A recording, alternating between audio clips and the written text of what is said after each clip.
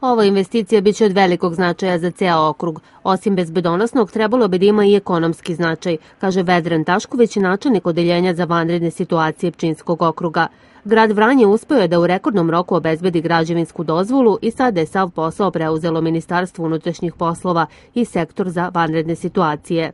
Regionalni centar je nešto što uh, se uh, mora shvatiti iz jednog ugla prvenstveno bezbednosti, a iz jednog ugla uh, jedne teritorije celog Pčinskog okruga koja dobija regionalnim centrom mogućnost da uh, određene firme apliciraju je da određene firme se pojave u Pčinskom okrugu.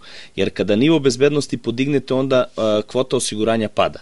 Mnoga preduzeća će tada naći računicu da ulažu u naš kraj, a to će imati i ekonomski efekat.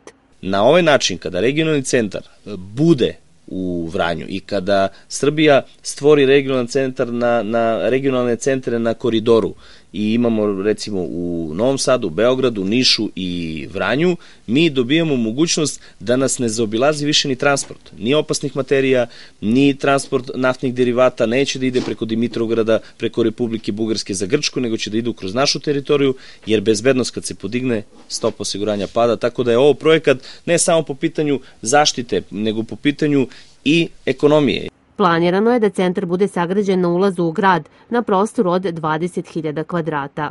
Odlična lokacija, velika lokacija, taj regionalni centar daje mogućnost da se neke saobraćajnice dodaju, prošire, neki mostovi promene, tako da taj donji deo grada dobiće još jednu infrastrukturu po pitanju saobraćajnica i to je još bolje zato što je pristup, dolaz, prilaz, odlaz yes. kvalitetniji, tako da ide to u mnogo dobrom pravcu, nadamo se svi da će bar da u nekom budućem periodu bude useljenje. Pošto je reč o ozbiljnom projektu, pretpostavlja se da će se tako pristupiti i njegovoj izgradnji.